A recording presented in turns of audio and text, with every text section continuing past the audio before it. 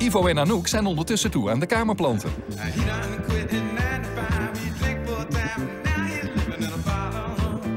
Kijk eens even. Ja, dit vind ik echt een hele stoere plant. Dat is die. En ik heb er nog meer, dus ik zal er zo nog eens eventjes twee pakken die echt heel stoer zijn. Maar jij bent uiteindelijk ook met een stoer plantje bezig, want je bent me aan het helpen. Dat vind ik sowieso al stoer. Ja, nou, ik vind het heel leuk om te doen. Eh, deze doet mij een beetje denken aan mijn jeugd. Waarom?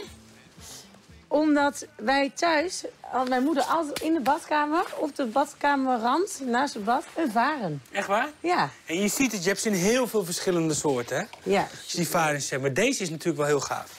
Maar dit valt allemaal onder de varen. Allemaal onder de varensoorten. Crispy waves noemen ze deze. Hele stoere plantjes die je dus op een hele donkere plek in je woonkamer neer kan zetten. Weinig water hoeft te geven en dan blijven ze het gewoon doen. Ik zou bijna denken dat het een soort vetplantje ook is. Ja, dat is het niet. Nee, maar deze, deze zou er inderdaad wel een klein beetje op lijken. Hoppa. Hatsieflatsie. Nou, je bent op zoek naar een kamerplant voor jezelf. Is dit er eentje die je wel zou willen of niet? Ja, eerlijk gezegd wel, want ik wil graag hoog en niet te breed. Het doet me denken wel aan eh, bananenblad. Bananen- Is het dat ook? Nee, het is geen bananenblad, maar heel veel mensen